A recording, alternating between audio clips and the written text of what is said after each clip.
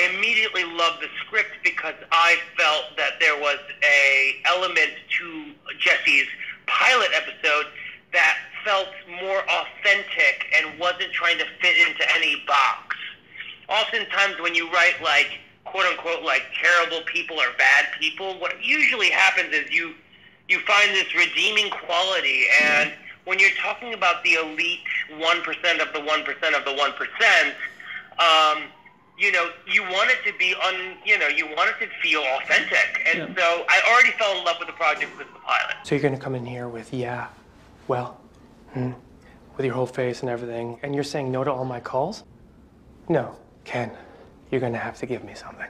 Honestly, I think there was only going to be two episodes of Stewy, um, and I think that he was a blank canvas a little bit. But I kind of remember going through a bunch of different versions of how this character could be, and we kind of landed on that was really good at what he does, um, incredibly powerful. Money is the only thing that guides him Yeah. and uh, doesn't lie. What I do know is there is a sense of confidence from people that are in the elite class that we're now seeing here in America with the Black Lives Matter movement. What we're seeing is there's a confidence and an arrogance about being more powerful than everyone else because of class and money and, and, and, and, and race, really. And then, quite honestly, I think Jesse, the brilliance of the show is is that Jesse, as a writer and the writing team, kind of live in the improv world, and in the improv world, there's this very famous kind of like theory of like yes and.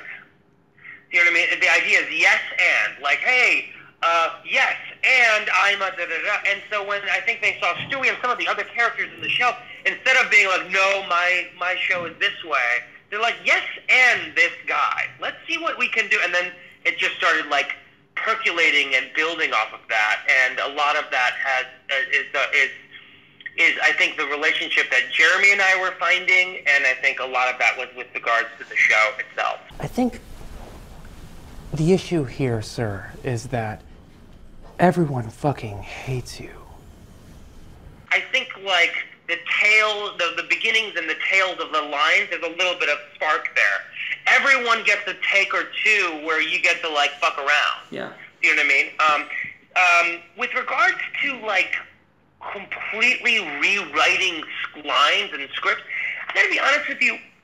I think, I think the lines are great, and so Yeah. I have a really great time saying those juicy lines. You know, in the end of season two, all of that, you know, you know, poo poo comes out of your nose holes. That's all like written down. I just, it's my job to make that feel honest and real and authentic. Yeah. Um, and so there's a little bit of it that you want to stick to the script and feel it, and there's a little bit of it that you want it to like branch out and like, you know. Um, also, we don't rehearse. You know, we, we famously don't rehearse very much. We kind of know where we stand, but we don't rehearse. So if all of a sudden some shit happens and all of a sudden something breaks or something says something funny, and you have to react. Yeah. You have to like be. I think what you're, what I think what is addictive about the show, removing myself from it. You know, removing myself from it. When I look, when I watch the show, and I see everyone, what's addictive about it is that it feels authentic Yeah. and it feels like people are being messy and people are kind of finding their own you know juicy stuff and the credit should be you know a lot of it is on the unbelievable writing and the atmosphere that the production has set and and what steve you know has amazingly done at the production side like that's all around us it's our ability as actors to just live and be Yeah. and not try to add too much shit. Local TV? Dad, nobody watches TV. Why shouldn't we do all the news? Uh, well, Kim Jong Pop, because that's not how things work in this country. We do shoot in a very peculiar way. Yeah. Um, I will say this: one is we shoot on film. Yeah. We don't shoot on digitally, which raises the stakes for everybody. Um, we shoot like you know I don't know how much your audience might know about this, but in America, on a on a network television show, you know, six to eight pages is all you can do in one day. But on Succession, it's different because sometimes it's 12 pages in one location. So let's take the wedding for an example. There's millions of characters that are around, Yeah. and we're all in the room together. Yeah. And sometimes we actually don't know where the cameras are because there's so many people. The cameras are like all the way over there and all the way over there and all the way over here. And every time you just have to like, when it's your turn, you just start talking and acting. Not even knowing where the camera is. That's not always the case, but on the big set pieces where there's so many actors around, you have you just can't even think about cameras. You can only think about characters and just being alive.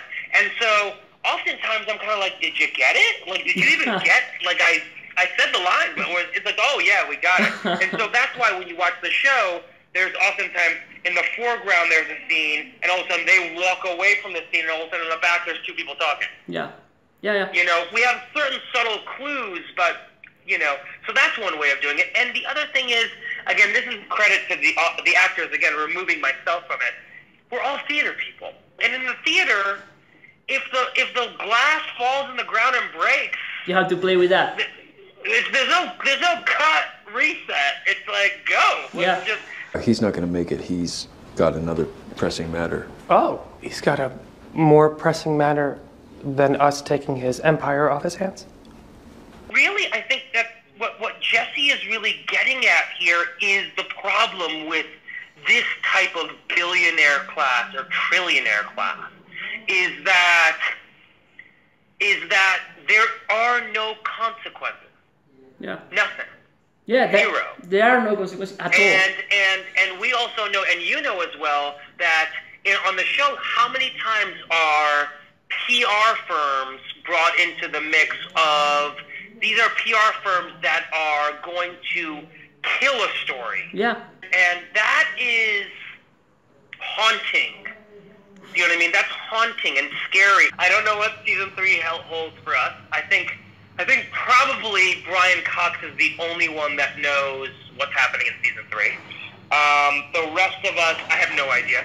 I kind of am a big fan of the show, so I also don't want to know too much. Yeah. I mean, I have to when I read the script, but um, with regards to you know, with regards to what we're gonna do next season, it's hard to say with COVID. I mean, I don't know what Yeah. I don't know where we're gonna fly to. You know, I, I've heard rumors that before COVID we're gonna fly to these miraculous places that I can't say, but they were miraculous and amazing. I mean, a lot of the traveling is due to the fact that the ultra wealthy can get anywhere within Yeah. five hours. Yeah. Really.